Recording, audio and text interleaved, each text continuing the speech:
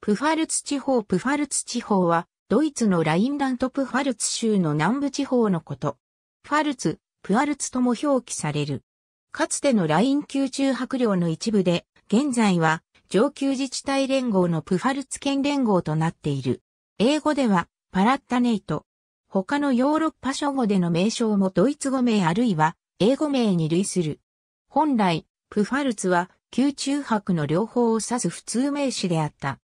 しかし、13世紀中頃までに、ライン宮中泊以外の宮中泊は消滅したため、プファルツというと、ライン宮中泊の両方を指す地名のように使われることになった。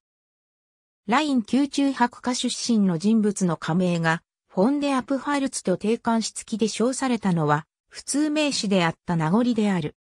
この地方は、シュターレック家のオットー2世とヘルマン3世父子、ホーエンシュタウフェン家のルートビヒとその従孫のコンラートと、ベルフェン家のハインリヒ5世、ハインリヒ6世父子が支配していたが、1214年に、ハインリヒ6世が死しなく急逝したためプファルツ伯、ベルフェン家は断絶し、ビッテルスバッハ家のルートビヒ1世が代わって支配するようになった。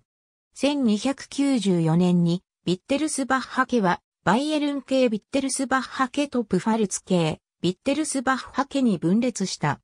ライン宮中泊は13世紀頃に選定校の地位を獲得し、プファルツ選定校と通称されるようになった。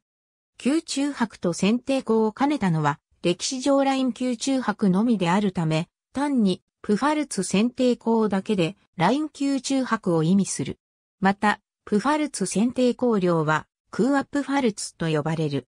ライン宮中泊イコールプファルツ選定校は、ビッテルスバッハ家の分子によって継承された後、18世紀には、同族のバイエルン選定行為も、その断絶に際して継承する。